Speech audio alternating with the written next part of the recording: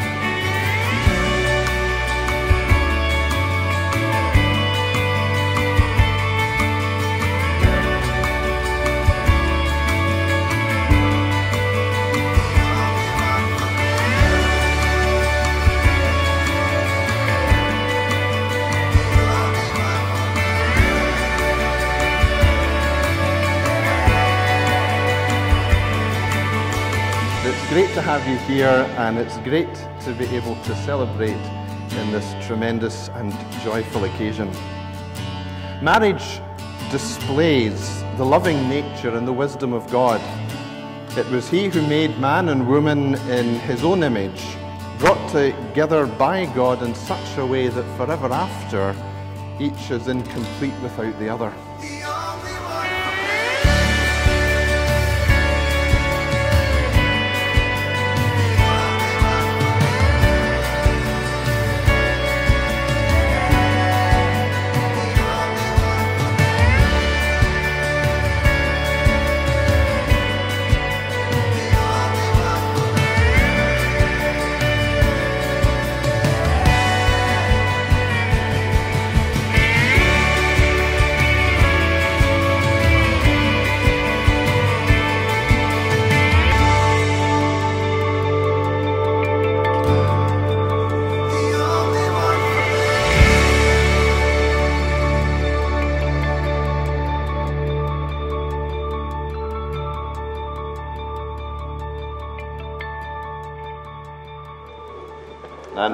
Repeat after me?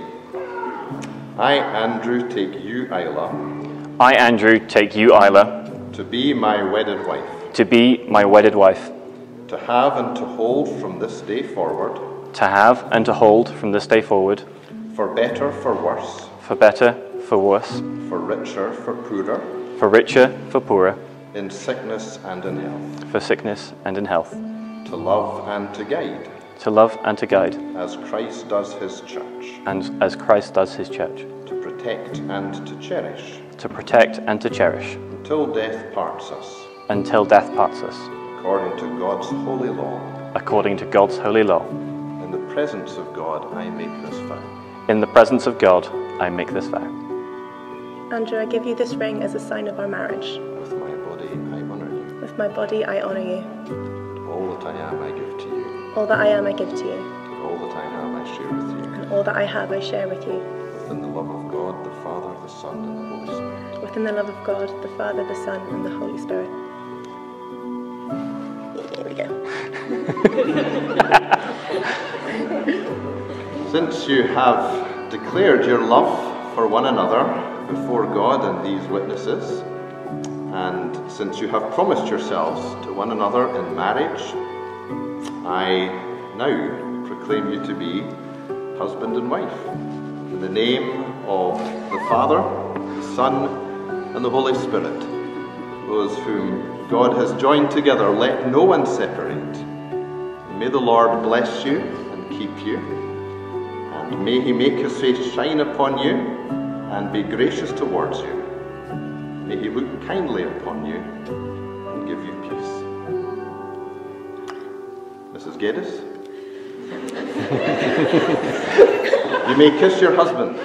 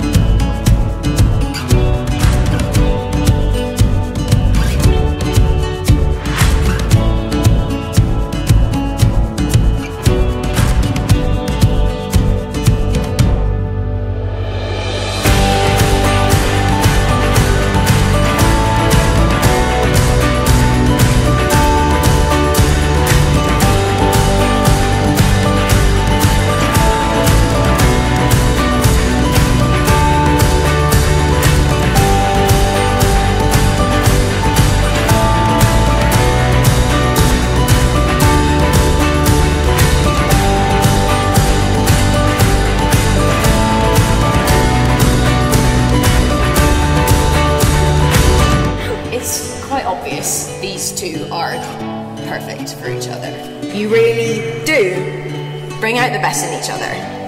Isla has become the most confident, self assured version of herself that I have ever seen in the 10 years that I've known you.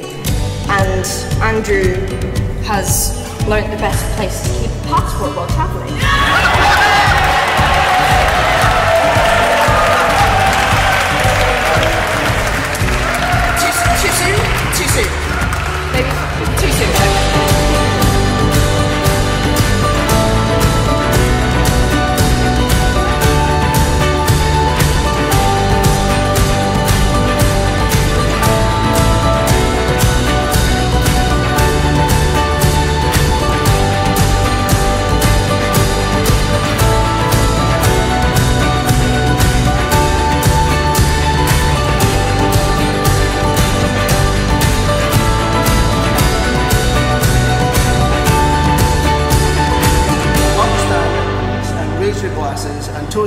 their new life together, wishing them lots of love. Andrew and Isla.